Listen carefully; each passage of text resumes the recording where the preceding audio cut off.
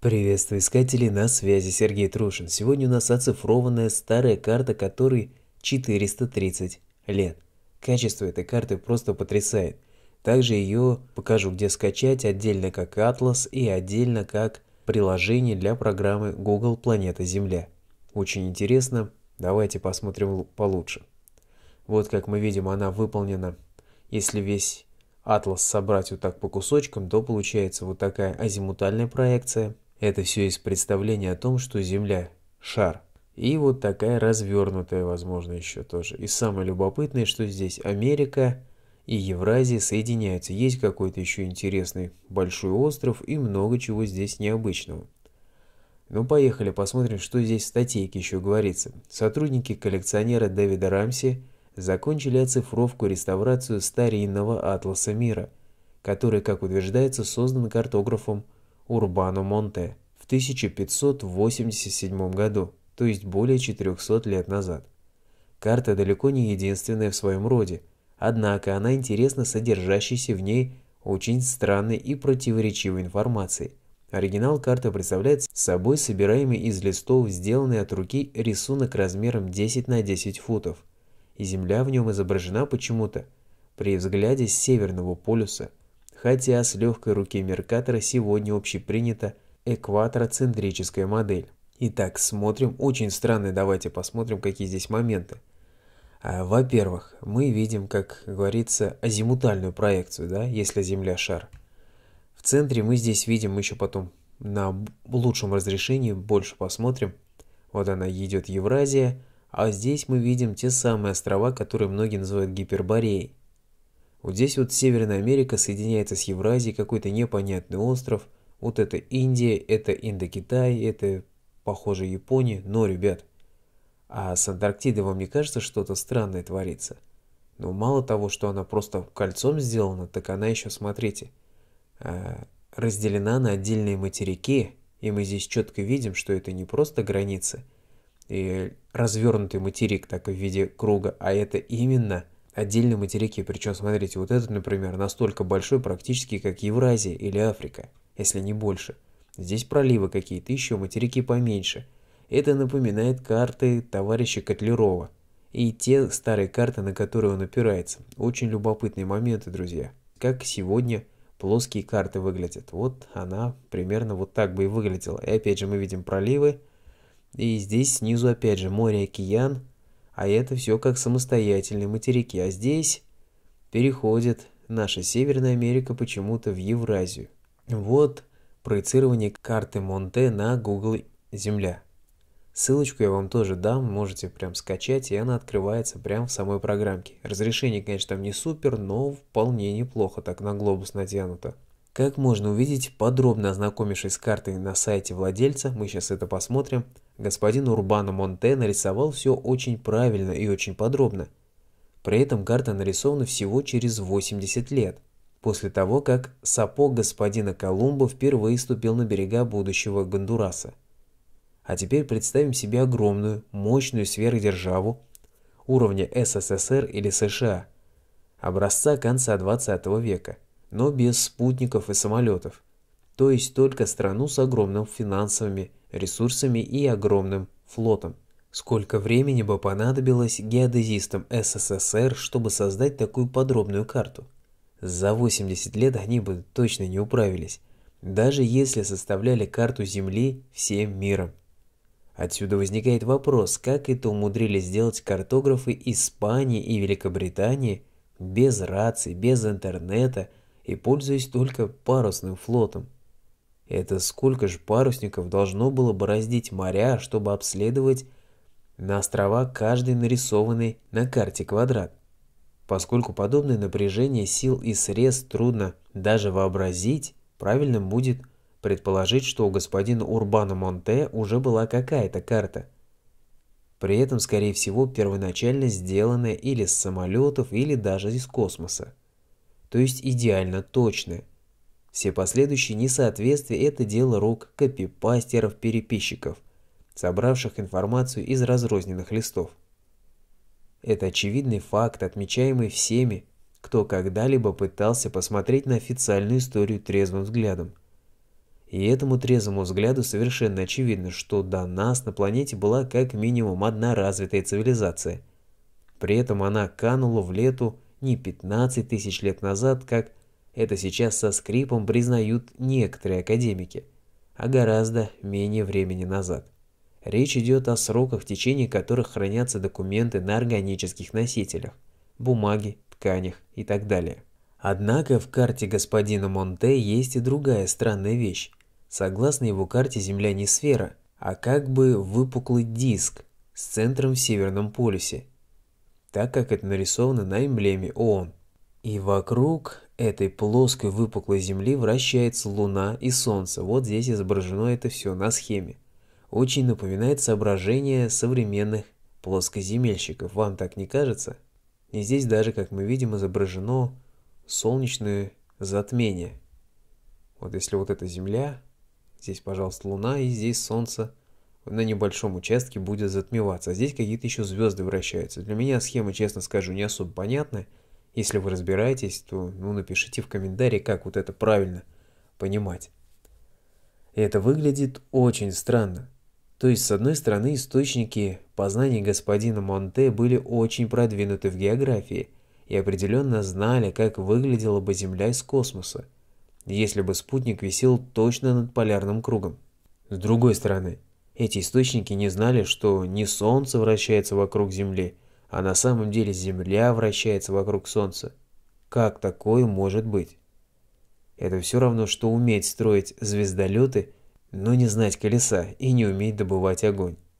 Мы не знаем, почему господин Монте нарисовал Солнечную систему геоцентрической и почему на его карте Земля выглядит как выпуклый круг. Тем не менее и сама карта, и даже сам факт ее появления весьма интересны. Что ж, давайте посмотрим соседние ссылочки. Вот, например, тоже это английская статья, немножко увеличим масштаб. Если интересно, можете, как правило, нажать правой кнопкой, перевести на русский и почитать, если есть такой интерес. Это официальный сайт, здесь также можно интерактивно эту карту посмотреть в очень-очень большом разрешении. Вот как раз по этой ссылочке, если кликнуть, ну потом посмотрим, здесь масштаб сейчас увеличен. Так, вот смотрите, насколько большая четкость.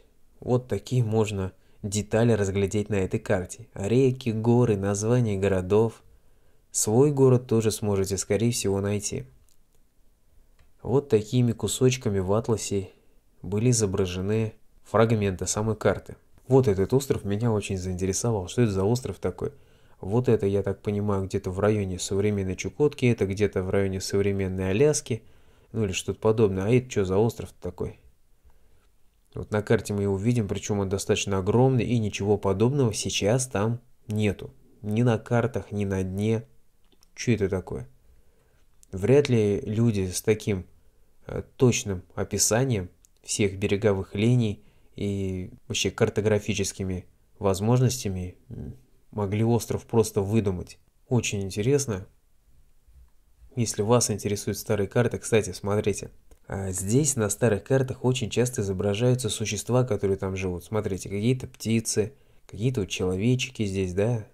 Весьма, конечно, схематично, но все равно. Здесь мы видим корабль, и здесь какое-то чудо-юдо морское тут. То есть, да, это, скорее всего, не просто байки, а действительно какие-то чудо-юдо там, видать, на них нападали. Здесь мы видим тоже что-то типа кита, видимо.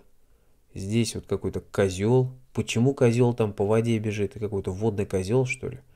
Здесь вот еще какое-то животное. Ну, интересно, вот если эту карту повнимательнее рассмотреть, а я знаю, что некоторые блогеры меня тоже смотрят, то, возможно, вам захочется сделать видео по каким-то отдельным пунктам этой карты. Я думаю, очень стоит к ней присмотреться. Здесь много чего любопытного. Какие-то правители здесь тоже указаны. Если вы владеете этим языком, то сможете, наверное, перевести. Конечно, письменный текст гораздо сложнее читать, чем печатный, но все равно довольно-таки любопытно. Вот еще какая-то схема.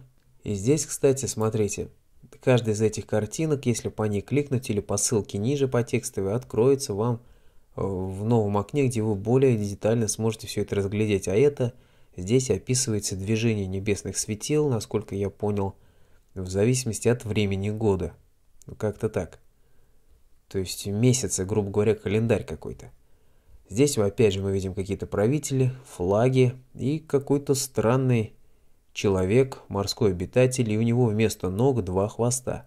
А знаете, по легендам и по многим описаниям, такие правители даже в Европе были, и женщины такие были. Любопытно. Может быть, все-таки эти существа на самом деле существовали, это не просто легенды. Опять же, ангел какой-то здесь нарисован. С крыльями и с ногами.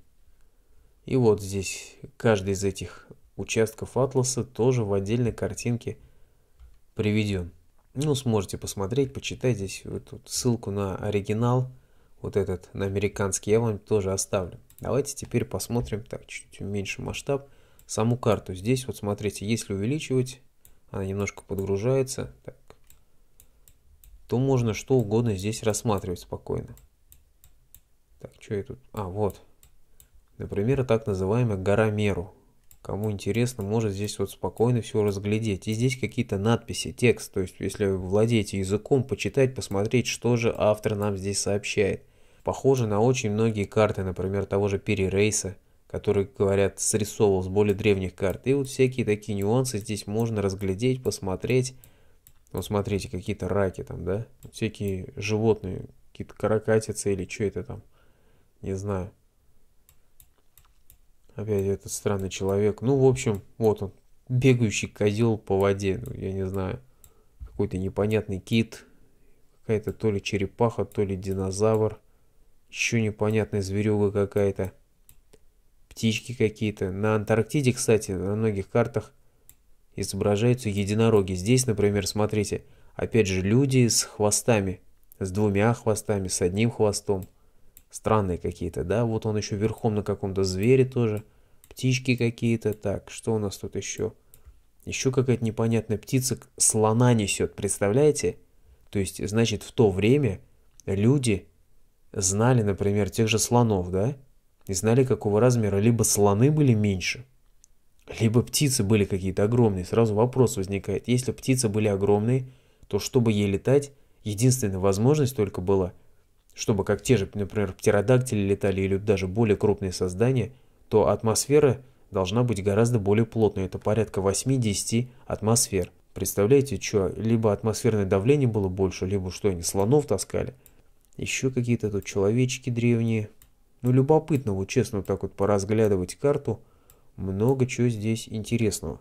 Причем, смотрите, здесь интересный момент. А, вот идет Южная Америка, такой большой материк интересный, достаточно точно сделанный. И здесь вот что-то, то, что мы сейчас бы сказали Антарктида. И они здесь практически соединены между собой. К тому же, если посмотреть Африка, Африка здесь соединена или нет? Так, Африка здесь не соединена. Ну, вот, например, интересные исследования древних карт приводит товарищ Котлеров. С ним можно соглашаться, можно не соглашаться – но он многие интересные вещи рассказывает. И он, например, говорит, что, скорее всего, Африка прям соединена с Антарктидой сплошняком. И там никакого пролива нету.